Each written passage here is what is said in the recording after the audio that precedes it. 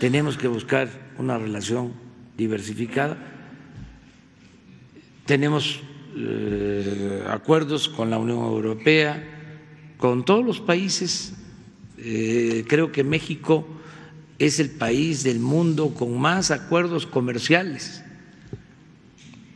eh, para exportar e importar mercancías. Y vamos a seguir manteniendo esta relación. Nos importa mucho Mm, nuestra relación eh, de origen,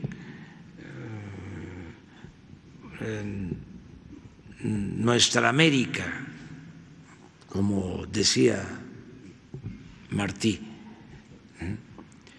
eh, nuestra América, nos importa mucho. Nosotros no vamos a dar la espalda a América Latina y al Caribe este, nos importa mucho.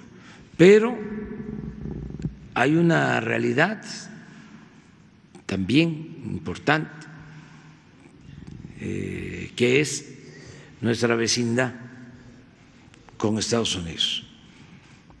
Eh, tenemos pues más de tres mil kilómetros de frontera, una historia de encuentros y desencuentros y viven 36 millones de mexicanos en Estados Unidos,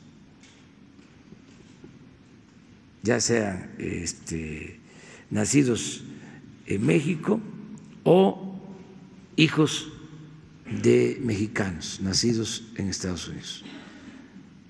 Es una relación fundamental sobre todo en lo económico, en lo comercial, y cuidamos de manera especial esta relación.